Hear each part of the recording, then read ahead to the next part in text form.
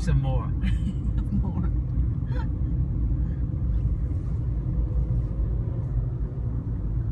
so he gets to do the crazy